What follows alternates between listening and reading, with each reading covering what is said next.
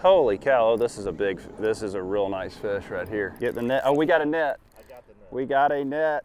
Sometimes it is fun to go pick the most public, random spot in your area and just try to be successful. On this channel, I have always tried to do the most relatable types of fishing so that anyone watching me can go out and enjoy the same type of stuff that I get to enjoy on a daily basis.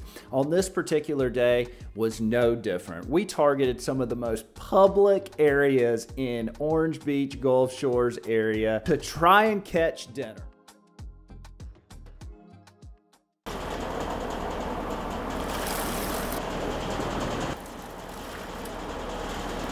That is a pretty sight right there, folks. What is happening? Welcome to another video. I'm at our outdoor store, Beach Bum Outdoors. We just got in a ton of bull minnows, and I'm gonna take some bull minnows out and see if I can catch some fish. If you're new to the channel, we do have an outdoor store right here in Gulf Shores, Alabama. And so if you are in the area, pop in. It's called Beach Bum Outdoors. We've got bull minnows, shrimp, all the tackle you need. I'll give you a little look around real quick. This is just kind of what the inside of the store looks like. If y'all want to go check it out. So you want to check me out? Sure. This is Vanessa. She's our employee of the month. Of the year. I mean the year, my bad. we order anything? Yeah. Let's go for a ride. We're gonna go hit up a few different places in the Orange Beach, Gulf Shores area, and hopefully we can find one that's working out. Very first area we started at is Perdido Pass Seawall. Now this place is super public, located right out back of the Gulf restaurant, free to fish, free to park. Brad's got a net, y'all. What is the world coming to? We are What is the world coming to? pinfish. Holy cow. I don't know if anybody's ever seen us use a net on your channel. I don't think so either. It's first time, dude. I'm trying, I'm trying. All right. These are big old healthy bull minnows, guys. Come on by the store and get you some. Did, did you just j- let him go? Seriously? Brad just literally dropped our first bull minnow overboard. And He's chumming. Got him on a little circle hook. Just gonna toss him out right there and just kind of let him sit and hang out. I'm gonna loosen the drag. We're gonna go multiple rods. There we go. We're good. We're just gonna wait for that thump. See if we can get a good keeper fish to take home and eat. I'm good, Nate. I'm good. Oh, Brad's getting eight. Are you on? There you go, Brad. There you go. First fish of the day right here. Oh, dude, you caught a. Is that a sand perch? Yeah, Put it, killing it, Brad. I'm up one nothing. that doesn't count. That's bait. Getting my first, my first bite of the day out here. All right, he dropped it. He was on there. Ah, that wasn't a flounder. That was a fish that was like running with it. Redfish. Mm, probably like a, maybe a ladyfish or something. Oh wait, I'm on. I am on. Holy cow. Just kidding. We'll see what it is here in just a second. Decent fish, dude. Get the net. Oh, we got a net. I got the net. We got a net ready to rock and roll here. If this is a flounder, it's a giant. Nope. What is that? Oh, big mangrove. Get him up here. That's a keeper, dude. We're netting them. Yeah, we're netting something today. Guys, that right there is a that's a 13 inch mangrove snapper, which is a keeper here in the state of Alabama. So we're gonna keep this guy. Well, that's a pretty good start to the day. This is what Brad's catching over here. Nothing to see here. Brad's got the state of Alabama. Fights hard though, doesn't it? It does fight really hard. Yeah. The, the difference that these bull minnows make versus the shrimp is your bull minnow stays out there longer this time of year because the trash fish tend to not pick it apart like they do a shrimp. And so therefore you do tend to catch better fish on the bull minnow. So we're gonna get it right back out here and see. Oh, we are getting a little bite right here. Got him. There's a fish. There we go. There we go. Oh, look at this, a hardtail on a bull minnow. Guys, this is a blue runner, AKA hardtail. Got him on a bull minnow. you never know what you're gonna get out here. That's why I like this place. So guys, as always, I keep my spoon with me when I'm, anytime I'm fishing, just in case I see fish blowing up, and I am seeing fish blow up right now. So I'm gonna like just toss the spoon out and see if we can get bit.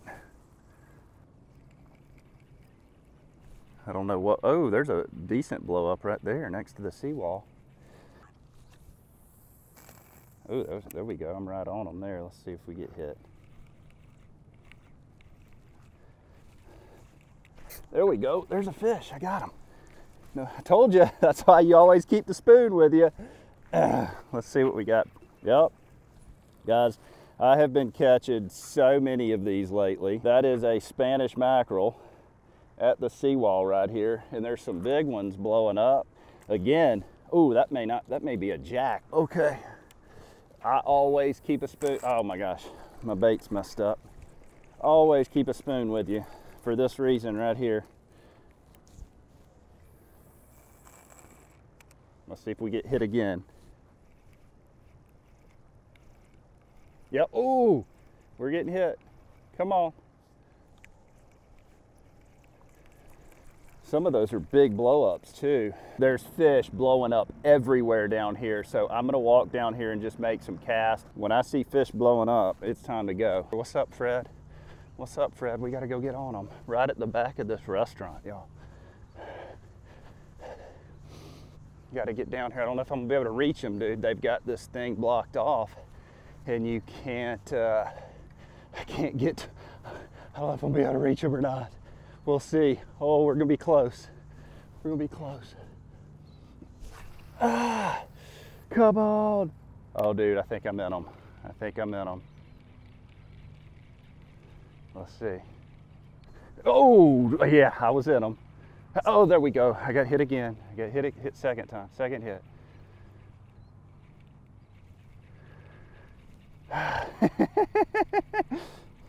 okay. I would not be able to do this without this combo, and I'm gonna talk to y'all about it here in a minute, but I've gotta make the most, oh God, I hit my GoPro. Sanely long cast imaginable right here. Okay, let's see, see what that's gonna do. Got him, there's a good fish. There we go. There we go, right here, back at, I'm literally in the restaurant catching these fish. You couldn't do this without this combo. Nice Spanish mackerel right here, y'all. Whoa, whoa, oh! And there he goes. Okay. Well, he slipped out of my hands. Let's try this again.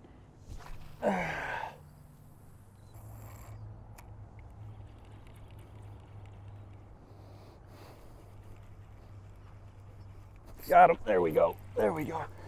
There we go. We're getting them now, baby. oh, man, I'm losing a bunch of them today, but that's okay.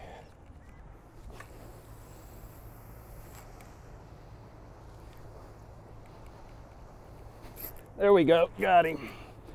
Got him. Got him.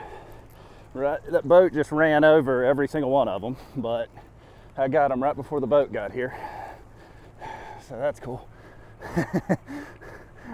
oh man. Decent fish here. Heck yeah.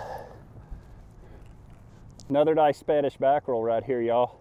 I switched sides. I walked over to the other side of the bridge simply because I saw a massive feeding frenzy over here and I want to go see what it is. I'm looking at them right now just a massive feeding frenzy we're about to walk into. Now we've got like five boats going through them, so that's terrible timing. That being said, I still think we can reach them.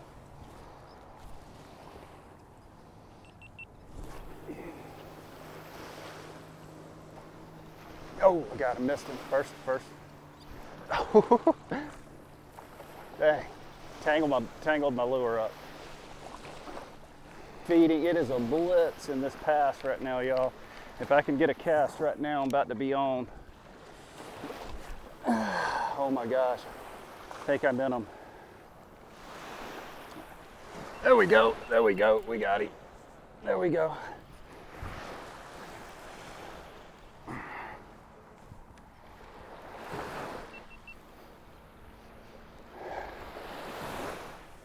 It's coming in. I think it's a Spanish. Oh yeah, come on buddy, get up here.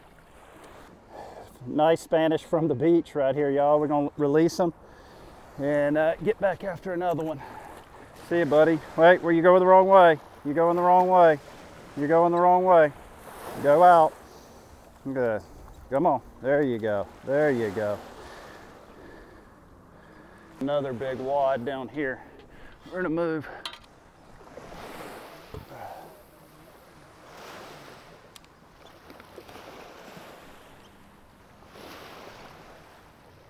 This is a what this is an insane feeding frenzy right here. Oh. There we go. There's a fish. There's a fish. Got him. Got him. Okay.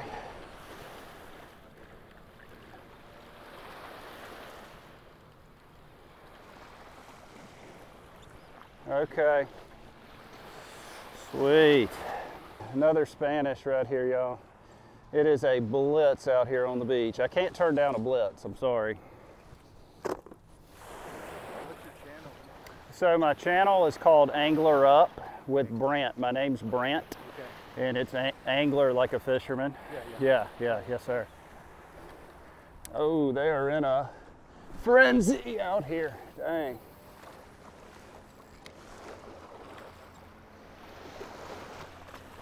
There he is. It's every cast now. It is every cast. Yes. Oh, he came off.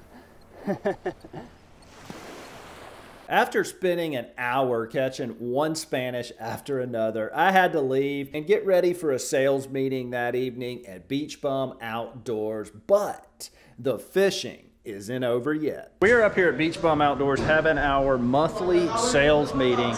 And I was like, you know what? I'm gonna grab some shrimp out of the shrimp tank back here, and we're about to go do some night fishing. It's like 10 p.m. What's up? What's up? Woo! Yeah. That's right. 300. Oh man. That's the team right there, folks. So let's go. Uh, let's go hit some dock lights. See if we can't catch some fish. Man, it is, it is muggy out here tonight. Come here, shrimp. All right, y'all, let's go see what's out here. I have not fished this dock light in quite some time. Whew, it's windy. I didn't think it was gonna be windy, but it is. Golly. Let's see if there's any fish in the light. Cannot tell. Oh yeah, oh yeah. I think we got some fish. Sweet. First bait going out, we're just taking a live shrimp. We've got a single hook we've got a old school bobber. Y'all comment below if you've ever used these old school corks. Let's get it out there. There we go. I'm gonna set it in the rod holder and when it goes under, hopefully it won't take too long. Ooh, ooh, ooh. Yeah, we're getting our first bite. There's a fish. There's a fish. First fish on right here. Let's see what we got working with. Oh, that's a nice fish, I think. Come here. Oh yeah, nice trout. First fish of the night here. Sweet. Heck yeah. Heck yeah. Fish number one right here. First, first bait in the water. Trout number one. We're gonna release this guy. See you, buddy. Sweet. All right, y'all, getting another shrimp going here. Get us a good fish. There we go. Put it back in the rod holder right here, ready to rock and roll. Turn the light off. We're gonna sit back and see if we can get us one. We're getting another bite here. Oh, my drag was loose. Oh my gosh. Oh yeah, we're on. Here we go. Holy cow, oh, this is a big, this is a real nice fish right here. Real nice fish, I can feel, feeling. Come on, don't be a kitty. Don't be a kitty. It's a kitty, you'll be mad. It is a kitty, holy cow. That's a fake out right there. I can't believe it. I thought I had a redfish or a big trout. There, gummit, man. Swear. We are back at the house now. Y'all check this out first and foremost. We've got some fresh Spanish mackerel, fresh mangrove snapper, homemade tartar sauce, sliced tomatoes. We were fishing that dock light last night. We caught that one speckled trout and it was like, it spooked everything. and so, but I want to show y'all something super cool. Uh, so we actually never got another bite last night check out our backyard. This is our cooking section. I want to show you guys why I was able to be successful at such a public spot that gets hit all the time. Now that was the seawall in Orange Beach in the parking lot of the Gulf restaurant. Like a million cars a day drive past that spot. And so you would think that oh how I'm not going to be able to catch fish there because it's so public. That's not the case. If you fish it right and fish some of these public places right you can be very successful. But this is what allowed me you know what I'm going to take a bite of this fresh fried fish first right here before I show you the the magic sauce because you're there's something about this that I've never showed you guys before. That's awesome fresh tartar sauce with fried fish, nothing better. So this is my favorite long cast combo. Now I've showed you other combos that I really like from the beach. One of them being the Penn Slammer 4500 and the Ninja Dagger 9 foot. But this is a Daiwa Saltist 5000 with a 10 foot bummy stick. But here's the beauty of this combo and why I was able to cast so far to those fish today to reach them when normally you wouldn't be able to. Uh, this 5000 holds 20 pound braided line really, really well. Braided 20 pound braid is so thin that I can spool up a 5000 size reel and bomb it out there so far with this bummy stick and this reel. This is the ES casting metal. And I can cast that so far and that is the reason that I was successful today. I was successful on the beach the other day. Sometimes you have to make extremely long casts to catch these fish. And this combo right here is without a doubt my favorite go-to long cast combo. And so Daiwa was actually nice enough to send us a bunch of stuff for this video. And so what I have done is I have packaged this combo just like this, the bummy stick, the Daiwa reel spooled with 20 pound braided line.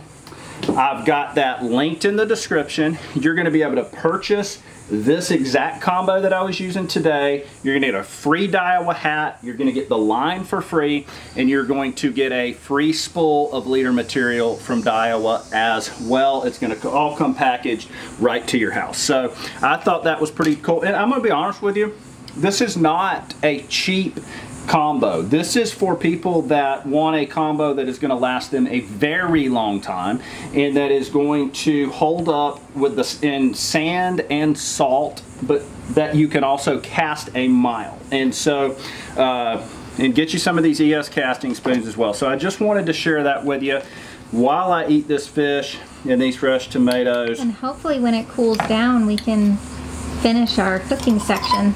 Yeah, it's been and too hot. I know Melanie has just uh, informed me that we still have kind of a ways to go on our outdoor cooking session section out here. We kind of put it on hold because it's been like 110 degrees, and so we're like, yeah, let's just let's just put it on we want to save our handyman's life. Yeah, and so mm, there's something about tomatoes in the summertime. I don't like tomatoes any other time unless it's hot. I don't know why. But so this is coming along. Guys, if you enjoyed that video, shoot me a big thumbs up. I've got this combo linked in the first comment as well as the description. Go check it out. You will not be disappointed. Absolutely love it. Other than that, we'll catch you next time.